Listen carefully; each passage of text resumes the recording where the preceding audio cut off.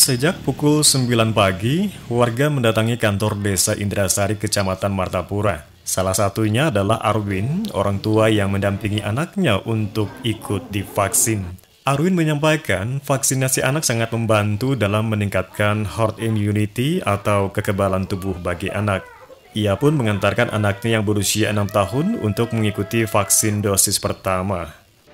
Uh, mudah-mudahan dengan vaksin anak ini kita bisa menjaga kesehatannya, kekebalannya terhadap virus kemudian bertambah ya.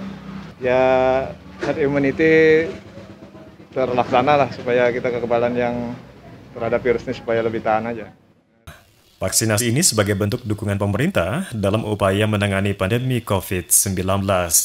Sementara itu, Kepala Desa Indrasari Ayani mengatakan, jenis vaksin yang tersedia untuk anak usia 6 hingga 11 tahun adalah Sinovac, sedangkan Pfizer dan AstraZeneca untuk dewasa hingga lansia.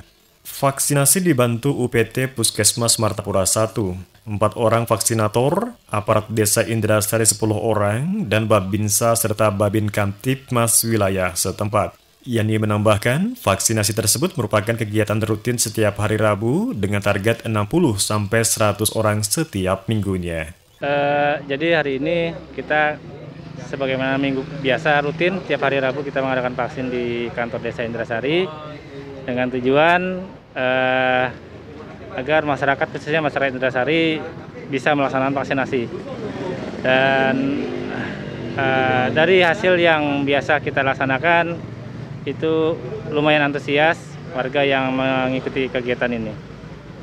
Uh, untuk hari ini jenis vaksinnya seperti biasa uh, Sinovac untuk eh, anak-anak uh, sampai dengan umur uh, 11 tahun. Kemudian untuk dewasa dan lansia itu tersedia Pfizer dan AstraZeneca. Uh, uh, menerima vaksin yang keberapa ini? Yang kedua. Yang kedua mungkin apakah sebelumnya sempat ragu untuk enggak. Nah, adalah motivasi untuk bisa mengikuti vaksin ini sendiri bu. Enggak yakin sendiri aja.